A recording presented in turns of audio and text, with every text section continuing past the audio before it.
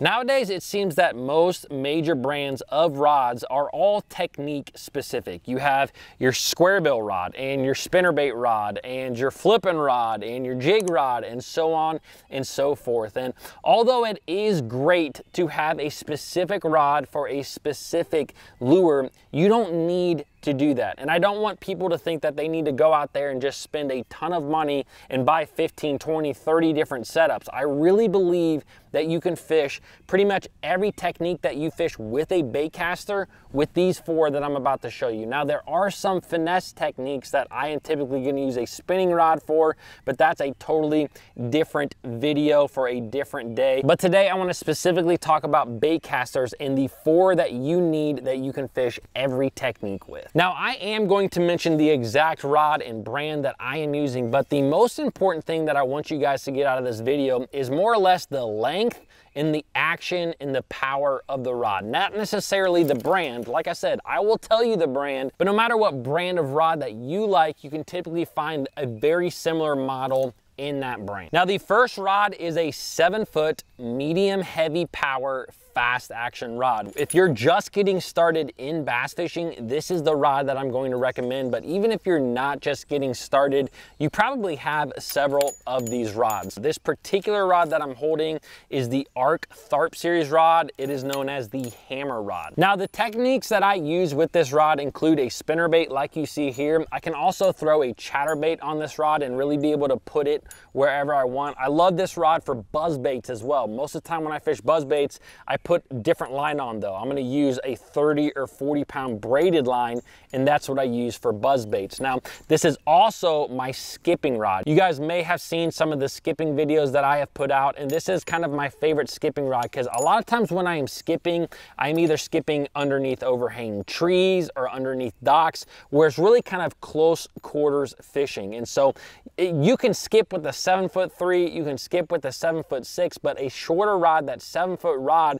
you really just have more control over that bait, which just allows you to be able to skip that bait a lot further. So there's a lot of different techniques that you can throw with this rod, but a seven foot medium heavy power fast action rod has got to be on your list. Let's talk about bait cast rod number two. And this rod is really specific for lures that have treble hooks on them. I like a seven foot, two inch medium power moderate action rod. This particular rod here is an Ark Invoker Pro rod. The action is actually listed as regular when you see this rod, and I will link everything down below for you guys to see. One of the most frustrating things about throwing any lure that has treble hooks like topwater baits or rattle traps or crankbaits is that you can lose a lot of fish on those particular baits. And the biggest thing that you can do that prevents you from losing so many fish is actually use a moderate bend rod. This is more of a parabolic bending rod. Now with that moderate action, your rod is really loaded most of the time when you are fighting a fish. And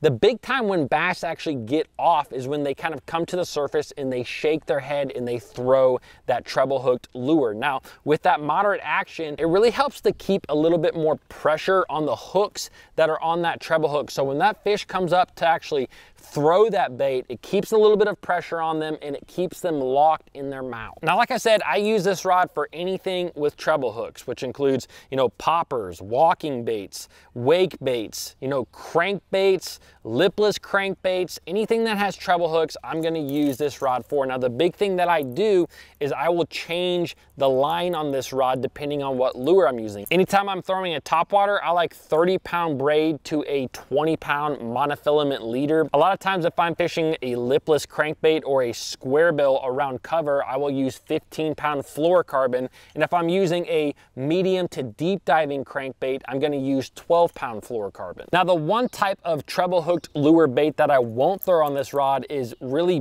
bigger swim baits, like a big glide bait. And that actually brings me to rod number three, and that rod is this one right here, and that is a seven foot six inch medium heavy power rod fast action rod. Now this particular rod is also an Ark invoker pro. I love how light this rod is but again no matter what brand you are fishing that length that power that action is what you want. I use this rod for a glide bait. It may not be the perfect rod for a glide bait but The reason that I like this rod is because I use it for a ton of other different techniques. This is my primary flipping and pitching rod. Anytime I'm flipping and pitching a Texas rig or a jig to cover, whether that's vegetation, wood, rock, whatever, this is the rod that I'm going to pick up. Most of the time I'm fishing 20 pound fluorocarbon on this rod. Now the other thing you can do is put braided line on it, put 50 pound braid on it, and you can actually use this rod to punch into matted vegetation. Another thing that I use this rod for all the time is a Carolina rig. I usually like a longer rod when I'm fishing a Carolina rig because a lot of times you make a super long cast and if a fish bites you at the end of that cast, you really need to be able to take up a lot of line to be able to drive that hook into that fish. And this rod is perfect for that. Now, the big thing that I have noticed with this seven foot six inch rod that I use all these techniques for is that if you have a really hard hook set, go with this exact rod, this medium heavy rod. If you have a softer hook set, I would suggest going with a heavy action rod instead. For me specifically, I set the hook really hard. Oh, God. I know that I don't always need to do it, but it's just something that I have always done. So I tend to use a little bit lighter power rods because I set the hook so hard. Now, if you do not set the hook like that, you can get away with a little bit heavier power rods and you're gonna be just fine. Now, moving on to rod number four. This is the last rod and this actually happens to be my favorite rod of the whole bunch. This is the one that I probably use the most out of any of these particular rods. Now this is a seven foot, three inch, medium heavy power, fast action rod. Now this particular rod I have here is the Ark Tharp Series Money Maker rod. And this thing is exactly that. It is a money maker. Now, in my opinion, besides treble hooked lure baits, I use this rod for pretty much every other technique. A couple things that I really love to do with this rod is I'm gonna put 50 pound braid on it and it becomes a great swim jig and frog rod. This is just perfect. It gives you enough length to have power on that hook set,